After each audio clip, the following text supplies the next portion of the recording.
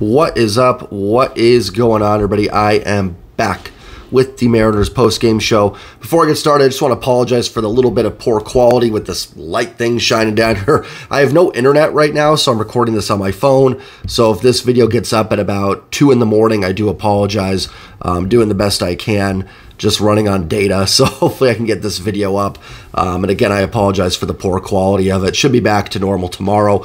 Um, if you guys can do me a favor, hit that like button, hit that sub button on the road to 2,500 subs. So if you're just kind of someone that casually watches, um, think about hitting that sub button for me. It just helps the channel out uh, tremendously, and the like button does as well. First and foremost, you're going to love this breakdown because I didn't get a chance to watch the game.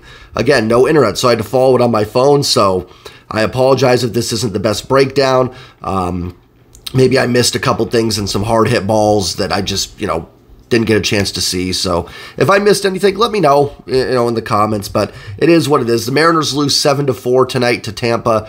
Really tough loss because this team was eight outs away um, from at least ensuring a split in this road series. A tough one in Tampa. And then going into the next two games, you got to face Civale and Eflin, two of the better starters for the Rays. So definitely felt like a game that you kind of wanted to get. I've talked about it in the past, talked about it yesterday. This was a game you really really wanted to have because then you can kind of not that tomorrow and Sunday would have been gravy. You still want to win them. You want to win every game. There's only a you know 21 games left. They're all valuable, right? But at least could have ensured a split. Then you get to go home for the Angels, and you can maybe take advantage there and get some W's. Now you got to fight to get at least one more. Uh, you, you really got to feel like you got to try and get. Well, you got you want to try and get both these, but you really want to try and at least get one of these games. Uh, final two games of the series. It'll be Luke Weaver going tomorrow. They're going to skip Bryan Woo's start. Um, interesting decision. I, I, get I get limiting limiting Woo's innings. Um, we'll see how Luke Weaver does. Hopefully, can get some outs and the Mariners' bats can really come alive. But let's focus mainly on tonight's game. That was a seven to four loss. Mariners had everything there for them. Uh, they were up four two going to the bottom of the seventh, and then it just kind of unraveled for George Kirby and for the bullpen. They end up losing seven to four. Uh, they got down two nothing in the first inning. Early on, George Kirby just didn't have the command. Wasn't throwing strikes, two walks, and a hit by pitch in one inning. Very un-Kirby like. But after that first inning, he really settled down. The Mariners battled back. Geno got a home run to make it two to one. Dylan Moore's double made it two to two. Kirby settles in. Julio goes deep for the 28th time to make it 3 2. Cal Raleigh goes deep for the 27th time. Um, so they should both end the year with 30 home runs. Cal would be the first Mariners catcher with 30 home runs in a season, a mark he should reach this year. And the Mariners are up 4 to 2. And George Kirby had turned it on into cruise control um, through six innings and looked as good as we've seen him all year. I know there was some controversy about sending Kirby back out for the seventh. He was at 93 pitches, got a quick first out, gave up a double to Jose Siri. Uh, Siri then stole third base, and René Pinto, the backup catcher, hits a two run home run. So, my thoughts on everything that happened there. I, again, I didn't mind. You guys are gonna think I'm just defending Scott for everything. I, am here's so here's my take on managers. Most important thing is the clubhouse chemistry, the development of players, keeping the guys together, keeping them playing hard, eh, you know, for a manager. And then you got the organizational development, drafting, developing, all that stuff. You know, how much a manager has say in that stuff, you know, we don't know. But in terms of just the clubhouse, keeping them together, keeping the guys energized, and then trying to do the best you can with what you have on the field. And I think Scott's done a pretty good job of that. I do. I, I, listen. There are always things that we can criticize. Sometimes baseball doesn't have something to blame. Sometimes baseball is baseball. There's 162 games. Baseball things happen. Isaiah Campbell comes in for George Kirby after the Pinto home run. Campbell was lights out yesterday, as good as I have ever seen that man pitch. Walks a hitter on four pitches, gets an out, gives up a two run home run to Harold Ramirez. On a pitch I actually didn't even think was that bad. It was a little inside. Ramirez turned on it. Um, you, you, know, so there's no guarantee Campbell's going to get out of that. Brash and Munoz were down today. They've each pitched three straight games. It, you know, maybe go to Topa there, fine. Then you got to manage through that eighth and the ninth inning. You know, it, it is what it is. Sometimes you need outs from certain guys, and they, they've got to deliver, and they just didn't tonight for the Mariners. You know, George Kirby, you hope he can get through that seven there. He was cruising. Uh, he's got the bottom of the order coming up, a backup catcher, and he gives up a two run home run. Uh, Kirby's got to be a little better there. You know, it is what it is. I thought Kirby threw the ball really well for the funny thing is, through for five innings of this game, or two, three, four, five, six, yeah, five innings, you know, Kirby was fantastic, but that first and the last inning um, were just tough bookends for him, unfortunately. It seemed to have happened to Kirby a few times. Happened in Chicago. He was a strike away from getting out of that inning. And Trayce Thompson hits a two run home run. Happened in Kansas City. He was a few outs away and just gave up some hits.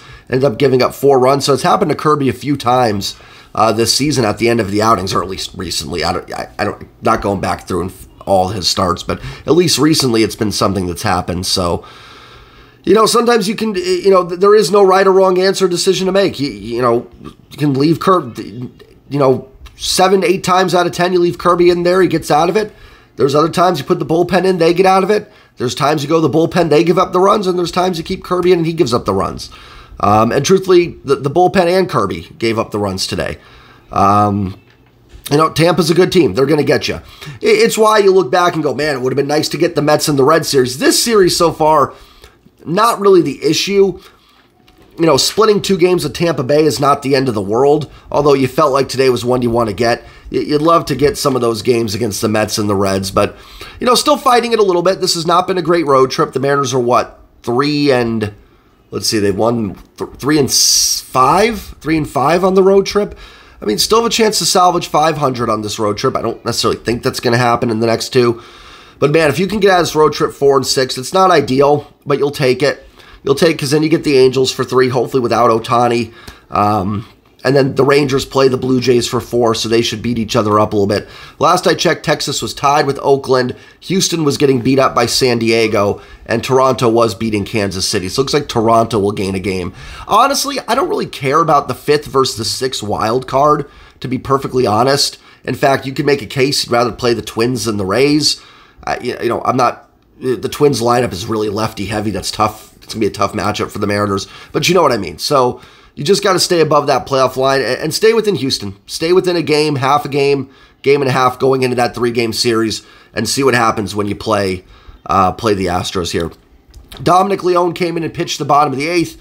Oh, it, it, you got to move on. It's time. I mean, Leone gives up the home run, gives up a triple, gives up um, just the one run total. Uh, did strike out René Pinto. Could have used that in the seventh inning, but uh, gives up the run. The Mariners end up losing seven to four. I don't care. I don't mind going to Leon there. If he's going to be on the roster, that's when you should use him. I mean, there's no point in bringing Brash or anybody in, you know, Topa into those situations. Down a couple runs, save those guys for tomorrow. But um, it's just not working out for Dominic Leone. He's given up a home run, I think, in every outing. Uh, part of me feels bad for him because he's not this bad. I don't think any pitcher is this bad. His ERA is like what with the Mariners, nine point five or something, eight something. I, I mean He's walked as many as he's struck out. He's given up four home runs. It's been a disaster. Is he this bad? No, I, I don't think so. I don't think any major league pitcher is this bad, but it's just not working out. Um, there was I, I talked about this in another post game video. I think it was after the Reds game. Leone had some interesting stats. You know, if you look at Savant, he had good whiff percentage and chase rate, um, which was enough to be, you know, hey, let's see what this guy's got. If you want to do that in spring training, fine. Bring him back in March. See if the, you know, Pete Woodworth and some of these guys can get their hands on him and, and make some of this work. No problem with that whatsoever. Do it. But not in September. Not in the pennant race. Can't do it. Can't do it. I, I know it probably didn't co- it didn't cost the team the game tonight, but what if JP had hit a two-run double, you know, in the top of the ninth? What if he had loaded the bases or gotten Julio to the plays of tying run and Julio homers? I, am not saying you need to put all your top relievers into a game when you're down 6 4, but you've got to have relievers that can get outs and at least give you a chance into the next inning.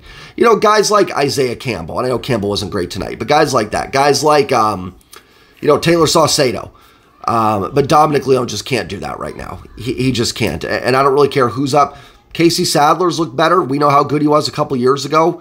You know, if he's healed up, give Casey Sadler a chance uh, Ryder Ryan, uh, Prelander Berroa, uh, even Diego Castillo. At least we've seen Diego Castillo be successful at the big league level.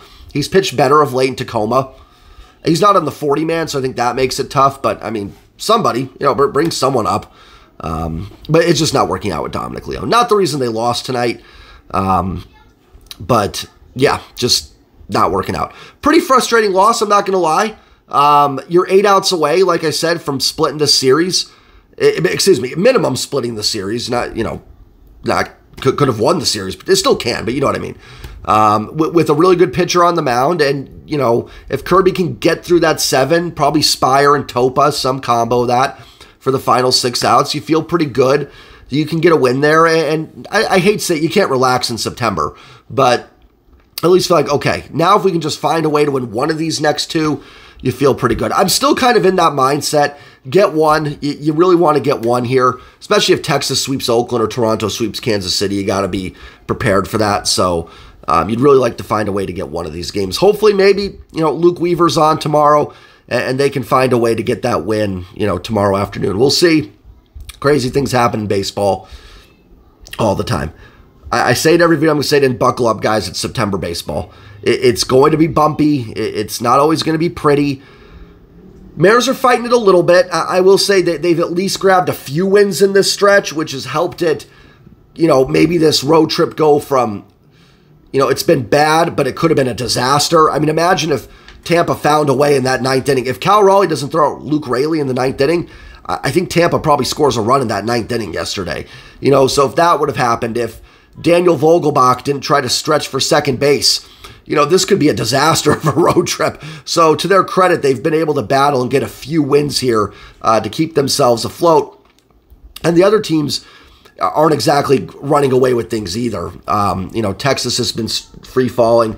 Toronto's actually played pretty good, but they haven't ran away with anything. And then Houston's been kind of up and down uh, a little bit so far in September as well. So, you know, it, it's going to happen. Uh, you know, the 21 and 6 August, they weren't going to play at that winning percentage all season. You're not going to run a whatever percentage that is for the rest of the year. But what are they on this road trip? Three and five. You're also probably not going to run that winning percentage the rest of the year. They're better than that too. Like if you're going to stand there and go, well, see, that was fluky that they won all those games in August, then this is a little fluky too.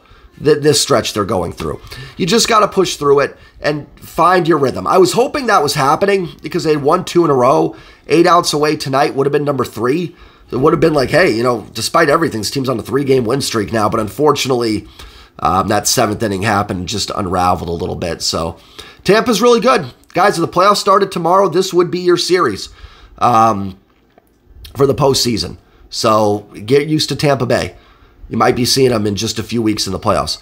I will say this, you know, someone asked me the other day if, you know, like I, I get a lot of points like always very optimistic, and I appreciate that. Thank you guys for saying that. That's really my goal. My goal is to be a voice of reason. Listen, if they lose nine in a row and drop out of the playoffs, I'm going to call it out. I'm not going to say, ah, oh, they're fine. I just, I'm not going to panic about a little bit of a tough road trip that tr- truthfully I kind of thought was going to be a tough road trip. Um, I would have been fine. I even said going in, I think five and five, six and four, you'd take. Now you definitely take five and five. It's been worse than I thought it was going to be. I thought they might win one of the series in Cincinnati or New York. Um, unfortunately, they dropped both of those, but I'm not in any type of panic mode yet. It's just been a little bit of a tough road trip. You're one good series away from kind of just, uh, uh, you know, eliminating the bad vibes. And like I said, despite this being awful, they've won enough games in this road trip so far that they've at least um, stayed afloat here. And not more than stayed afloat. Afloat implies that they're just hanging on. They've stayed in the driver's seat for the most part. I, I wouldn't be lying if I was a little bit worried about the rotation in the bullpen. I'm not going to lie to you guys. Someone asked me about, you know, do I have any concerns being optimistic? I do. I, I'm a little bit worried about this back end of the rotation um, the rest of the way. I said it. Um, I know I've probably I'm probably a broken record, but when you do daily recaps, it's hard sometimes not to repeat the same stuff. Um, but I was on that stream with Rooftop last week, and I said my biggest concern: Miller and Woo down the stretch. Like, how are they going to hold up? And now Bryan Woo's been skipped tomorrow. His velocity's been down. Bryce Miller battled his last start, but didn't look great. What are we going to get from those two down the stretch? Especially with them pitching back to back, I'd almost like to break that up. If there's a day off, I would try and slot Logan back in between them to give that little bit of a break there. Because um, it's just tough. I'm talking like they're bad. They're not. They've actually both been, done a really nice job. But you'd like to break it up a little bit because now you go into these next two games, which feel pretty pivotal and you're relying. I mean, Woo's not even going to pitch tomorrow, but you know what I mean. You're relying on those slots in the rotation. Listen, I, that's not on. I'm not blaming the front office for that. I'm sorry. I know some people are. I'm not. You lost Robbie Ray for the year, Marco Gonzalez, Easton McGee, three pitcher, Chris Flexen, essentially, who you thought was decent depth, was horrid. I mean, you had four guys that were above these guys that you expected to be major league quality pitchers. Um, you know, I mentioned it when it happened. The Robbie Ray injury was a really devastating injury. I don't think got talked about enough when it really happened. And it's kind of rearing its ugly head a little bit because you could have. I'm not saying Robbie would have been in Woo's slot tomorrow, but you might have Robbie going tomorrow. You'd feel much better with him on the mound um, than what you're going with tomorrow. So it happens. The starting pitching market was absurd to trade for one. I wasn't against them adding one, but it was really, really expensive. Um, and I'm a little bit worried about the bullpen. I think it's mostly fatigue. I, I like the arms. Like, you, you go to the Savant pages, Brash, Munoz, all these guys, fantastic. Speier's been great. Topa's been really good. I like these arms, but th- they do seem to be wearing down a little bit. You need to get some big innings out of rookies like Isaiah Campbell, who just haven't been here before. And Campbell was amazing yesterday, but, you know, goes back to back and then struggles tonight. So, just something I think. Now, listen, every team minus maybe Atlanta has some concerns going to the postseason. So that doesn't mean the Mariners can't overcome this. Um, everybody in the AL. I mean, Baltimore's on a roll, but they're dealing with, I, I believe, Felix Bautista still out. That's a huge blow for them. Houston's going through it a little bit. They're still a really good team, but they're fighting it a little bit more than they have in the past. Texas has been in a free fall. Toronto's got a lot of flaws. Um, Tampa does too. They're without Wander Franco, obviously, and then McClanahan for the rest of the year. So they're fighting some things as well. So it's not an excuse. I'm not trying to make excuse for the Mariners, uh, but it is the things I'm worried about. But also, it doesn't make me think any less of this team. I think they're good arms, and I, and I think they can battle through it. So that's all I've got for tonight. I'm going to let you guys go. This video might be up at 2 in the morning without my internet, so we'll see. Have a great night, everybody. Remember to hit that subscribe button. Remember to like the video as well. I will see you all tomorrow for the post game. I'm going to try to get my NFL picks up at some point. I may just have to skip week one. I'll have a Seahawks and a Mariners post game recap up on Sunday. That's going to be a crazy day. Two recaps for you guys. Take care, everybody. Enjoy your weekend. Mariners are still in the playoffs, so again, take deep breaths. Guys, September is going to be wild. It is. I'm just telling you. you. You can yell at me and say, no, Jay, this is ridiculous. But for your health, for, for you, I'm talking to you, you got to take deep breaths in September. It's going to be it's going to be crazy. Hope that when all the dust settles, the Mariners are in the dance. Have a great night, everybody, and I'll see you tomorrow. Peace.